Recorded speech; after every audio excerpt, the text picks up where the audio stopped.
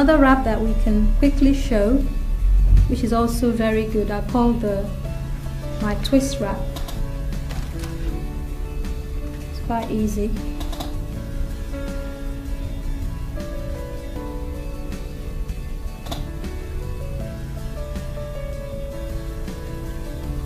as we have seen as I've done the back you can just get the back done as in the original wrap looking like this. What is important now is for me to show a different kind of wrap in the front.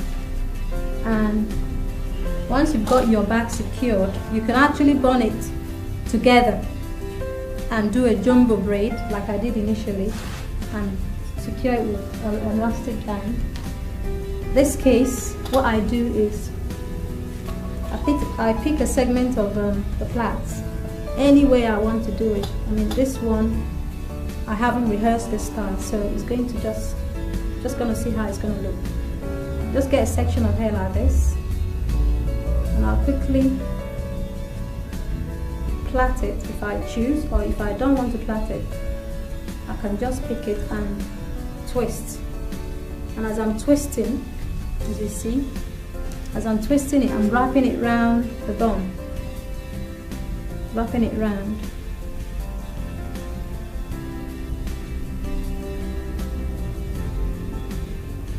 And then get my pins.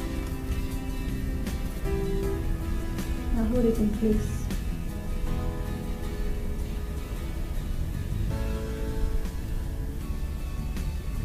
And then I can take another section and cut across and if I don't want to wrap it or I don't want to plait it I can just twist it as I go along onto my bun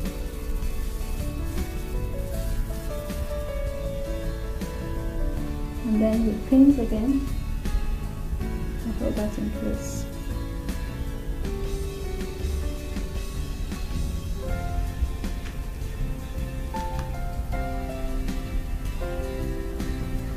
and then complete this section.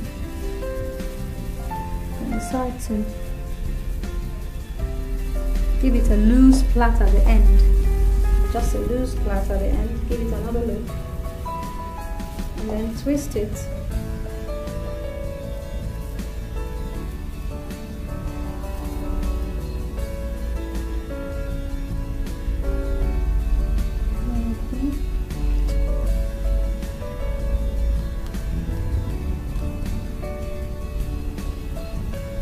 And then finally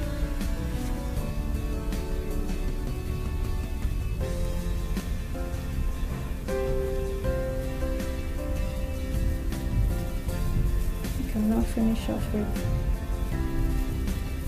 my last section. As I'm going I'm twisting.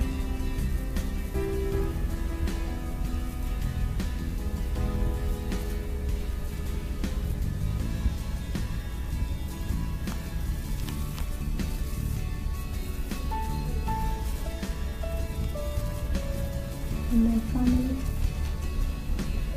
I'll my pin then tucking in the loose bits into the bun.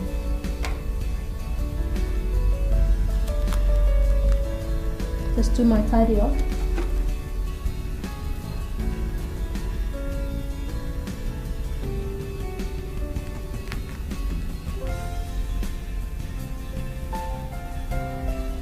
And that's my twist wrap